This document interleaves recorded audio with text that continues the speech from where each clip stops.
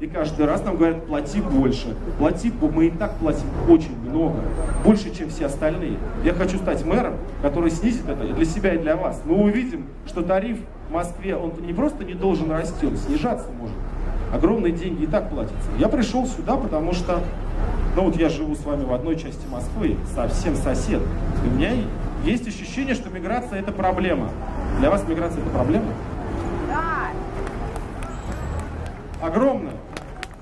Вот видите, интересная штука. Вот я иду в мэры, потому что я знаю точно, что мигранты в таком количестве сюда приезжают, сотни тысяч миллионов, не потому что или что я привожу подставных людей. Давайте я прям у вас спрошу. Сколько получает дворник-мигрант, работающий в вашем дворе? Кто знает?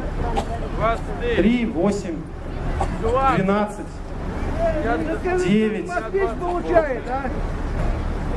Три месяца не получают. Самое большое 15. Вот видите, какая интересная штуковина. 3,9, самое большое 15. Но если мы посмотрим официально утвержденный минимальный норматив оплаты московского дворника, то мы узнаем, что не может быть в Москве дворников, которые получали бы меньше 31 тысячи. Удивительно, да? Ведь все настоящие живые дворники, с которыми мы разговаривали, они нам называют другие суммы. Куда идет разница? Вот этих людей сюда тащат, вселят дома под снос, в эти пятиэтажки под снос, подвалы, квартиры по 30 человек, потому что они отстегивают по 10-20 тысяч рублей. Они живут на положении рабов. И выгодно их сюда тащить бесконечное количество. Они будут приезжать сюда всегда, пока это не прекратится. И это просто река наличных денег. Сотни миллионов рублей ежемесячно, которые остаются в управляющих компаниях, которые остаются в управах, префектурах. Но мы-то с вами видим, друзья мои, обратную сторону этой реки. Вот я когда готовился к выступлению в вашем районе, я посмотрел, у вас выросла по району преступность или упала? Как считаете, у нас выросла или упала? Выросла. Думаете, серьезно что ли? Вот мы знаем, что половину преступлений в Москве совершают приезжие. Я вам хочу сказать, у вас особо тяжкие преступления, рост 158%. Убийство 100%, хулиганство 200%, оборот наркотиков 207% за последние полгода. Официальные данные сайта ОВД. На практике, наверное, еще больше. Я вот, понимаете, я иду в мэры, потому что два года назад у меня не было ни одного знакомого, у которого бы вырывали сумку. Я просто не знал ни одного человека. Сейчас у меня в моем доме три женщины, у которых эти мигранты вырвали сумку. И я знаю дворники, мигранты, которые приезжают сюда. Я не знаю, дворники или не дворники. Я просто знаю, что Москва находится на первом месте в мире по количеству нелегальных мигрантов. Вам это нравится? И мне это не нравится. Я хочу изменить это сейчас, потому что я не хочу увидеть эту преступность. Я хочу изменить это сейчас, потому что я, как и вы, знаю про московские школы, в которых стали появляться классы, где уже больше половины детей не разговаривают на русском языке. Вы же знаете про эти классы? Я знаю. И я хочу эту проблему решать сейчас, потому что через 10 лет моим детям и вашим детям и внукам это уже решить будет невозможно. Потому что в Москве будут жить сотни тысяч людей, которые здесь родились и выросли. Они никакого Узбекистана и Таджикистана в глаза не видели. Они никак не захотят никуда возвращаться, им некуда возвращаться. Они не захотят работать дворниками, потому что что они будут работать дворниками? Они в Москве выросли. Но тем не менее, они они не знают русского языка или знают его плохо, они не могут поступить в институт, они не могут поступить в нормальный техникум, у них нет никаких перспектив. Каким образом они будут зарабатывать? Какой у них будет образ жизни? Мы видели это во Франции пять лет назад.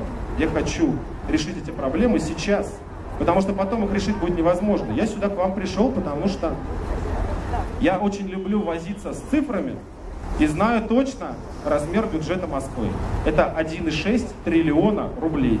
Бюджет Москвы уступает только бюджету Нью-Йорка и Шанхая. Мы с вами живем в одном из самых богатых городов мира. Богатейшие города Европы и США, они даже и близко не могут сравниться.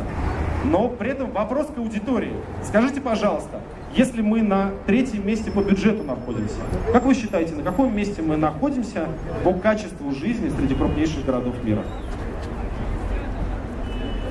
Какие-то у вас не, не оптимистичные прогнозы? Последнее. Почему? Почему никто не говорит тоже на третьем? Денег-то мы тратим на третье место. А, я здесь, вот здесь. На 75-м. На 37-м. Правильный ответ, вы, вы близко, 154 место. По качеству жизни среди крупнейших городов мы находимся на 154 месте. Немножко такая диспропорция, да, по бюджету на третьем, по качеству жизни на 154. Ведь у нас с вами есть все для нормальной жизни. У нас есть город, у нас есть большой бюджет, у нас есть инфраструктура, у нас есть очень образованные жители. Все у нас есть вроде бы с вами, кроме самого главного. У нас нет веры в себя. Мы почему-то считаем, что изменить ничего нельзя. Мы, вот эти все вещи, которые я вам рассказал, вы же их сами знаете лучше меня. Ну, по крайней мере, точно не хуже. Но мы действительно считаем, что ничего нельзя изменить. Так она жизнь устроена, как-то несправедливо и нехорошо, что мы живем гораздо беднее, чем должны жить. Россия по продаже нефти и газа на первом месте в мире, по уровню жизни на 69 месте, по бюджету Москва на третьем месте, по качеству жизни на 154 месте. У нас возьмите любой строительный объект, вот любую крупную большую стройку. Возьмем северо-западную хорду. Она стоит 70 миллиардов рублей. Все строители в один голос нам говорят, это в два раза дороже. Про это говорят по телевизору, пишут в газетах, все это признают. Мы знаем с вами, что только на строительстве северо-западной хорды у нас с вами украдут 30 миллиардов рублей. Что нужно для того, чтобы построить поликлиники по всей Москве дополнительные. Но мы как-то пожимаем плечами и говорим, ну а что поделаешь? Украдут, безобразие, мерзавцы. Но сделать-то ничего нельзя. На вы...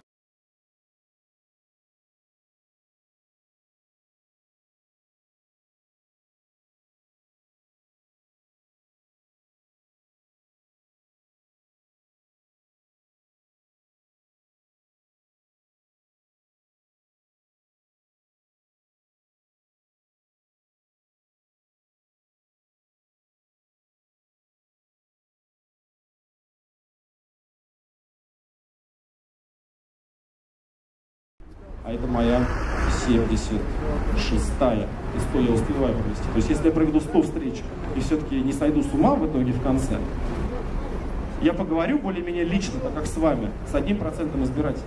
Это очень много. Покажите мне другого политика, который поговорил с одним миллионом избирателей, с одним процентом избирателей. Для того, чтобы выиграть мэра, вы, выборы мэра Москвы, вот чтобы я просто в первом туре выиграл, мне нужно всего лишь полтора миллиона человек в городе, где живет 15 миллионов. В Москве совершенно точно есть эти полтора миллиона человек, которые нужны, которые все знают, все понимают, все знают, все прочитали. Каждый из которых может выйти на эту сцену и сказать все то же самое, что и я говорю. Каждый из которых может прочитать программу и увидеть, что есть решение проблем. Потому что эти проблемы, это же не уникальные вещи в Москве. Другие города решали. Вопрос.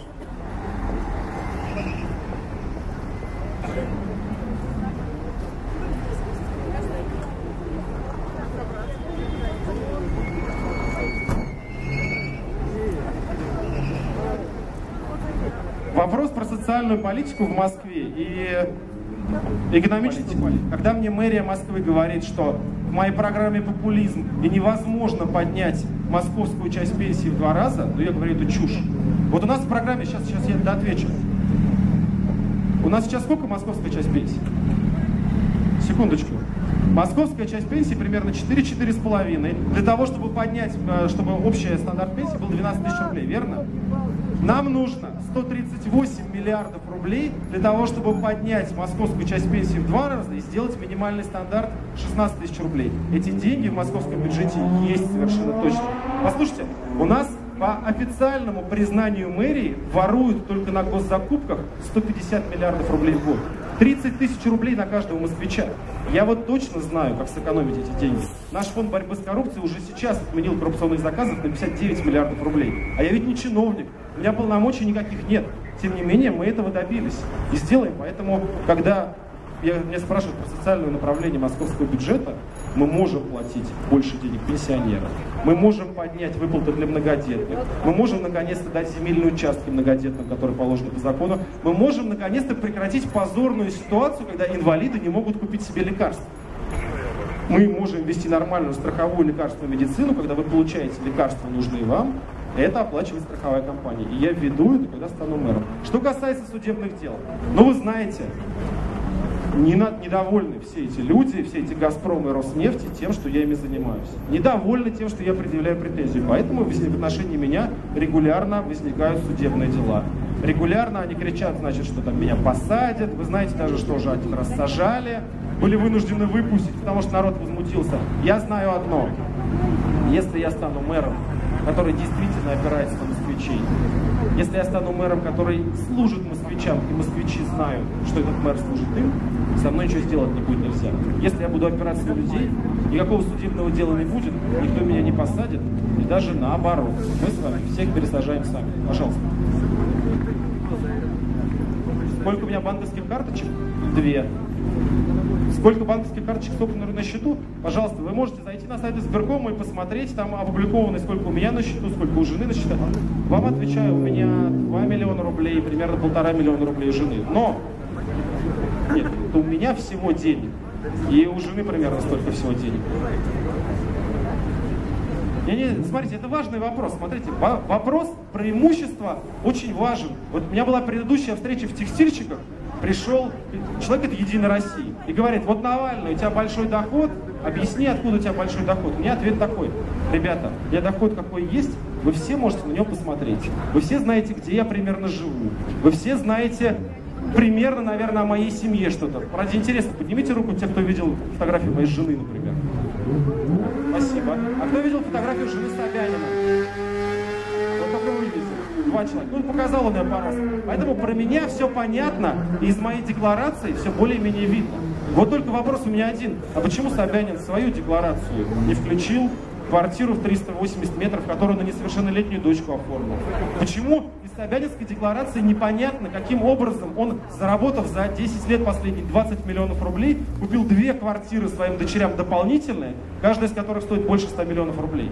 Вот эти вещи мы должны сделать. Я хочу стать мэром, про которого будет совершенно точно понятно, откуда у него доходы. Я хочу стать мэром, у которого для него и для членов его команды они будут им будет положено объяснять, откуда взялись деньги.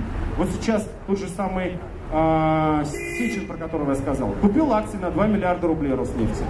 Ну, купил, купил. Объяснять он ничего не должен. Я веду правила, по которым вам всем должно быть понятно, откуда деньги взялись, как они тратятся и почему те или иные странные вещи происходят, а не происходят. Пожалуйста, вопрос. Могу дать э, этот, микрофон, если коротко. Здравствуйте, я районный депутат Максим Мотин. Уважаемые жители, я вас могу проинформировать, что буквально пять дней назад на улице Южно-Портовая, дом 23, напротив цементного элеватора, с которым мы с вами боролись, открыт новый незаконный асфальтобетонный завод. А теперь он пять дней назад к нему подавили газ, и он уже начал работать. А, никаких документов нет. Это предвыборный подарок от господина Собянина всем жителям нашего района, за что ему огромное спасибо. Травить нас будут долго. Выбросы из курьяновских очистных сооружений. Каждый день происходят выбросы сероводорода.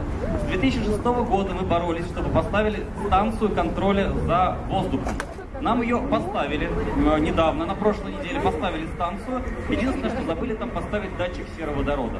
Она измеряет все,